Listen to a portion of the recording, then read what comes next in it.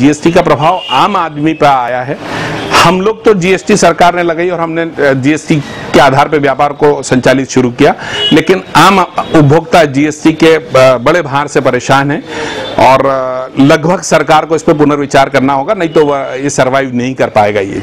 ये जो दिवाली है और जीएसटी और नोटबंदी के बाद व्यापार जो है, वो 50 परसेंट कम हो गया है।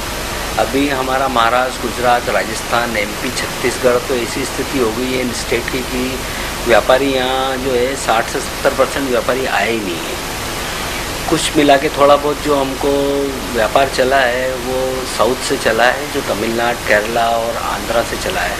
बाकी इस व्यापार की स्थिति जीएसटी के बाद बहुत ख़राब हो गई। आप फ़ायदा आपने ज़रूर दिया है कि 20 लाख रुपए से कम जिनका व्यापार है, उनको जीएसटी नहीं लगेगा तो उसमें अब हम, हमारा गारमेंट सेक्टर तो कुटीर उद्योग वाला सेक्टर है। इसमें हमारे यहाँ छोटे छोटे सब लोग व्यापार करते हैं। जिनसे हम धागे लेते हैं, जिनसे हम कैनवास लेते हैं, जिनसे हम चेने लेते हैं तो वो लोग छोटे व्यापारी हैं और उनका हमको जीएसटी का बिलिंग नहीं मिलेगा। तो वो जो हमको 10 परसेंट या 12 परसेंट जो उनका जीएसटी बिल आता है, वो बिल कम हो जाएगा तो हम जो जिनसे ले रहा है वो जीएसटी में हमको बहुत प्रॉब्लम आएगा। हम मॉडबेड नहीं ले पाएँगे।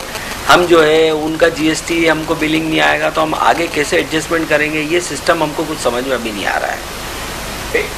जीएसटी आने के पहले और अब में क्या बदलाव आया? व्यापार में बड़ा है या घटा है? नहीं नहीं बड़ा तो कुछ नहीं है व्यापार घटा है।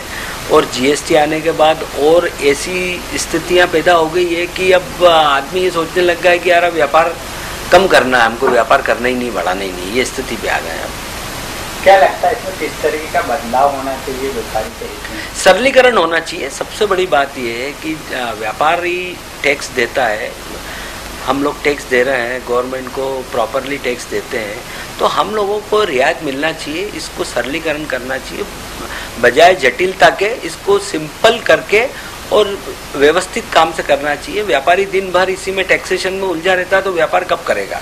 तो हमारी सरकार से यही रिक्वेस्ट है कि इसको थोड़ा सरल कर दें जिससे व्यापारी भी खुश रहे और आपको टैक्स भी प्रॉपर मिले।